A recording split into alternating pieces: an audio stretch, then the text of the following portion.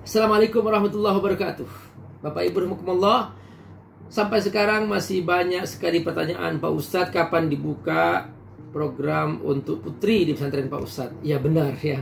Kita terbatas dananya, belum mampu uh, untuk membangun uh, bangunan asrama dan ruang belajar bagi para santri di putri ya. Mudah-mudahan dengan infak dan wakaf berat ibu kami bisa segera mewujudkan yaitu pembangunan asrama dan ruang belajar untuk para santri putri di pesantren Fat di Kampung Sukawangi, Sukawangi Bogor. Assalamualaikum warahmatullahi wabarakatuh.